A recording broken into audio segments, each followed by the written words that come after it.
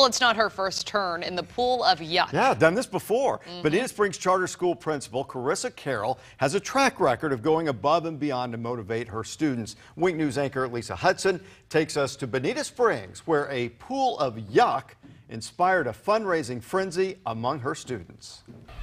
I'm looking forward to this. A reward for a job well done. Got hot sauce, salsa. Um, this one, uh, I believe this is cat food. Putting the principal in the pool of yuck.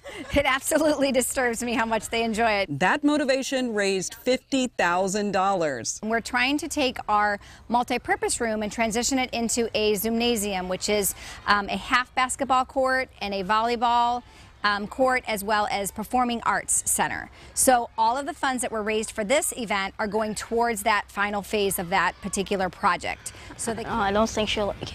I don't think she'll like it. Seventh grader Luca Cresswell raised the most money of any student, more than $1,200. I mean, I was kind of surprised, but I for this specific fundraiser, I usually like do a lot every year. oh, who brought milk?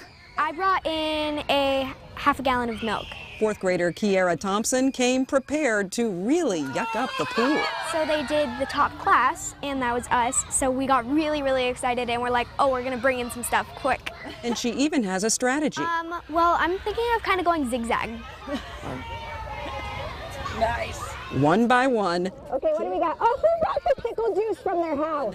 pour by pour. Stinky, stinky. A celebration. Well, for most of them. As principals, we do anything for the kids and helping our school, but it is so gross and disgusting. In Bonita Springs, But thank you for raising money. Great job, great job. Lisa Hutson, Wink News.